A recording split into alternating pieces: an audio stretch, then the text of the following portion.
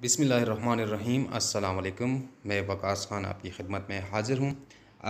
आजकल दो ख़बरें पाकिस्तानी मीडिया की जीनत बने हुए हैं और दोनों का ताल्लुक़ डॉक्टर आमिर लियाकत हुसैन से है। पहली ख़बर वो कि डॉक्टर आमिर लियाकत हुसैन का पोस्टमार्टम कब होगा और पोस्टमार्टम के बाद क्या रिपोर्ट मंजर आम पर आती है। दूसरी ख़बर, दानिया मलिक या दानिया शाह, जो कि तीसरी कानूनी तौर पर डॉक्टर आमिर लियाकत हुसैन की तीसरी अहलिया हैं।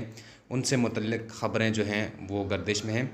आज एक दानिया मलिक के हवाले से कराची की मकामी अदालत ने एक बड़ी ख़बर सामने आई वहाँ से और अदालत ने F I A cyber crime को नोटिस किया है और पाँच जुलाई तक डॉक्टर आमिर लियाकत हुसैन के कत्ल के हवाले से जो दरख्वास्त दायर की गई थी कि दानिया मलिक से पूछ गछ की जाए उस हवाले से एफ़आईए से जो है जवाब तलब कर लिया है। अब देखते हैं कि इस मामले पर एफ़ एफ़आईए अदालत को क्या जवाब देती है। आ, मामला है क्या? मामला सीधा सा है कि एक समाजी तंजीम की जानब से ये दरख्वास्त मकामी अदालत में लगाई गई जिसमें मौक़ ये अपनाया गया कि दानिया मलिक ने डॉक्टर आमिर लियाकत हुसैन की वीडियोस जो हैं वो वायरल की जो कि नहीं करनी चाहिए थी जिससे पाकिस्तानी सोसाइटी में जो ख़वातीन हैं उनकी तजहीक हुई आ, हमारे लिए बायस शर्म है ये मामला इसको देखा जाए।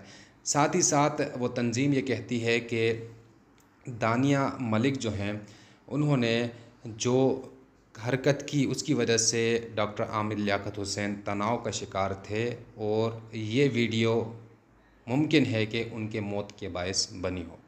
तहम दरख्वास्त दायर की जा चुकी थी कुछ रोज़ कबल। आज अदालत ने डायरेक्टर एफआईए साइबर क्राइम को ये हुक्म दिया है कि आप पाँच जुलाई तक अदालत में आएँ और अपना जवाब जमा कराएँ कि ये साइबर क्राइम का केस बनता है।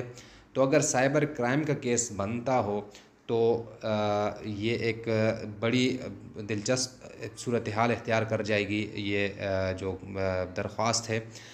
दानिया मलिक जो हैं आमिल लियाकत की तीसरी अहलिया, उनके लिए मसाइल बढ़ सकते हैं।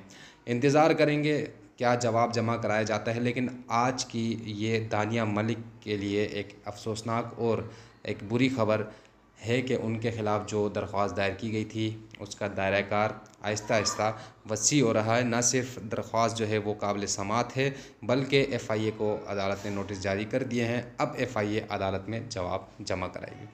हमारा चैनल देखते रहिएगा, लाइक कीजिए, सब्सक्राइब कीजिए, बेल का आइकन ज़रूर दबाइएगा और वीडियोस और मालूम अगर अच्छी लगे तो शेयर ज़रूर कीजिएगा। अपना बहुत सारा ख्याल रखिएगा। अल्लाह हाफिज़।